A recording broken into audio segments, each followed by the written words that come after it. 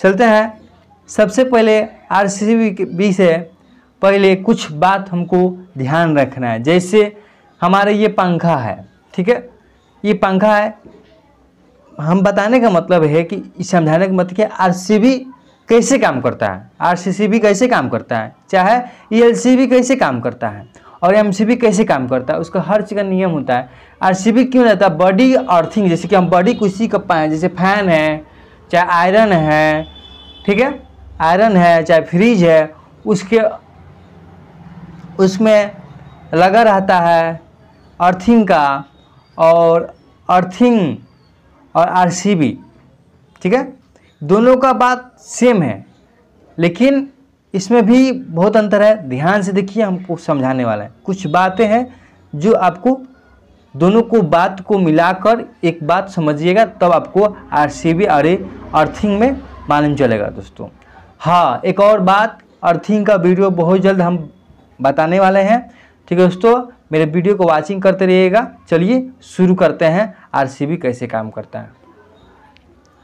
देखिए दोस्तों, सबसे पहले क्या करना कि हम अर्थिंग समझ लेंगे दोस्तों। ये हमारा जैसे बुझिए, ये माइनस प्लस होता है। दो को इसमें तार निकलाता है। ये हो गया प्लस और ये हो गया माइनस ठीक है? जुड़ रहता है। ये हो गया हमारा अर्थिंग का तार, ठीक है? अर्थिंग कहाँ जुड़ाता है? इसमें, ठीक है? और प्लस किसमें जुड़ाता है? प्लस इसमें जुड़ाता है और माइनस इसमें जुड़ाता है, ठीक है? और ये स्विच इसमें जुड़ रहता है। ये हमारा रूम बाई एमसीबी के रूम में चला जाएगा चाहे कहाँ आपका कनेक्शन होता है। ठीक है दोस्तों? ऐसे होता है। अर्थिंग इसमें जुड़ाता है। अर्थिंग के लिए हम इसका अब हम एक वीडियो जस्ट बनाने वाले हैं। ठीक है? अर्थिंग में जुड़ाता है। जैसे इसमें छुएँगे, पंखा को छुएँगे तो क्या होगा? कब इसमें करंट आएगा? जब कोई भी इसमें का तार माइनस प्लस माइनस चाहे प्ल, प्लस इसमें का तार टूट जाएगा और बॉडी में जाएगा सट जाएगा तो क्या होगा? बॉडी में सटेगा तो ये हमारा ईयरथिंग का तार लेने लेने लगेगा और आपको छुएगा तो इसमें आप छुएगा बॉडी में छुएगा तो आपको लाइन नहीं मारेगा क्योंकि अर्थिंग में जाकर डाल देगा क्योंकि बहुत ज़रूरी है कि अर्थिंग आपको करना। ये इससे यही फ़ायदा है चाहे आर लगा रहे हैं चाहे नहीं लगा रहे हैं एल लगा रहे हैं, चाहे नहीं लगा रहे हैं, लेकिन अर्थिंग बहुत ज़रूरी है। आपको अर्थिंग करना बहुत ज़रूरी है। कोई भी वायरिंग करते हैं, बड़का बड़का कंपनी छोटा सी कंपनी अर्थिंग ज़रूर करवाइए, उसका वायरिंग ज़रूर करवाइए। उसमें ज़्यादा खर्चा नहीं होता है, न बिजली बिल उठाता है। जहाँ पाँच हज़ार आता होगा, वहाँ से बूझिए कि एक सौ पचास बूझिए कि दस रुपया, बीस रुपया, मैंने सौ रुपये तक बढ़ सकता है। लेकिन आपको पाँच हज़ार, दस हज़ार नहीं आएगा बिल। ठीक है दोस्तों? अब आते हैं। ये हम हो गया। अब अब कोई भी कोई भी दूसरा पंखा क्या होता है? जैसे कि ये हो गया ई एल सी बी मैंने, ये अर्थिंग का हो गया। अब हम आते हैं। R C B R C B कैसे काम करता है? ठीक है दोस्तों? आर सी बी कैसे काम करता है? आर सी बी देखिए कैसे काम करता है। आर सी बी ये है दोस्तों। सबसे पहले हम इसका वायरिंग कर देते हैं दोस्तों। ये हमारा है चेंजर यानी, ठीक है, इसमें आप सॉरी दोस्तों, ये हो गया हमारा माइनस ये हो गया प्लस ठीक है? प्लस और ये माइनस ठीक है?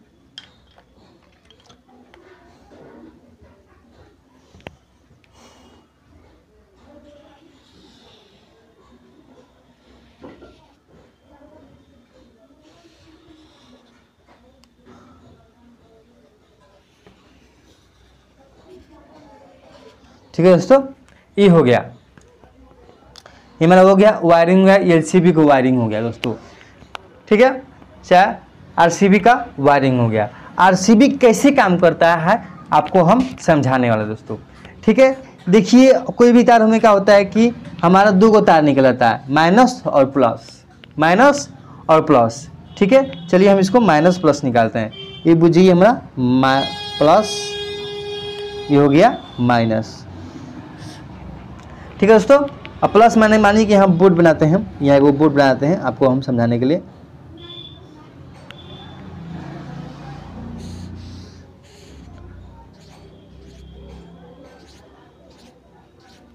ठीक है दोस्तों? इसका हम स्विच बनाते हैं। ठीक है? हो गया?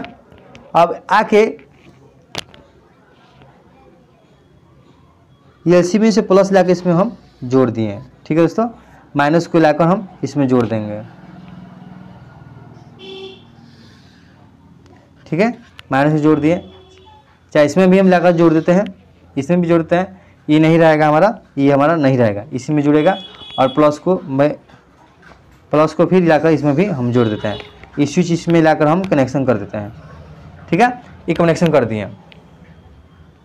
ये हमारा कनेक्शन कर दिया अब क्या होगा? ये हमारा एल कैसे काम करेगा? ठीक है दोस्तों? आपको एल कैसे काम करेगा हम समझाते हैं। जैसे ये प्रभावी कर रहा है, जैसे कि 220 वोल्टेज प्रभावित कर रहा है, चाहे 20 एम्पियर 10 एम्पियर ये प्रोवाइड कर रहा है। जैसे कि 220 वोल्ट प्रोवाइड कर रहा है, ये जितना भी उपकरण है, ठीक है दोस्तों? जितना भी उपकरण है जो 220 वोल्ट कर रहा है। जैसे ही हमारा वोल्टेज, बीच में बॉडी तार छोड़ देगा, चाहे कोई भी प्रॉब्लम हो रहा है तो कम बेस जैसे करेगा हमारा आरसीबी ट्रिप कर जाएगा। ट्रिप कर जाएगा, उसके बाद इसमें सप्लाई उप्लाई कुछ नहीं जाएगा, लाइन लाइन कहीं नहीं जाएगा, आपका उपकरण जितना है, सब बंद हो जाएगा।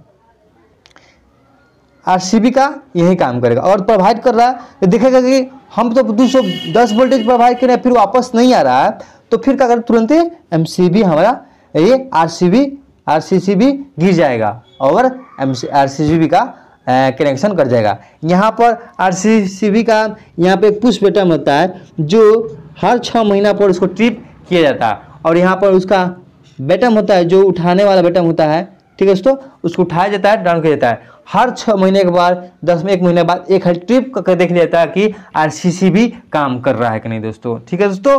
वीडियो कैसा लगा? अच्छा तो शेयर करें लाइक करें कमेंट करें दोस्तों। इसका पेटकल हम जस्ट तुरंत वीडियो बनाने वाले हैं आरसीसीबी का और ई का और थिंग का भी जस्ट वीडियो बनाने वाले दोस्तों। धन्यवाद दोस्तों। मेरे वीडियो को ऐसे ही शेयर करें लाइक करें कमेंट करें। धन्यवाद।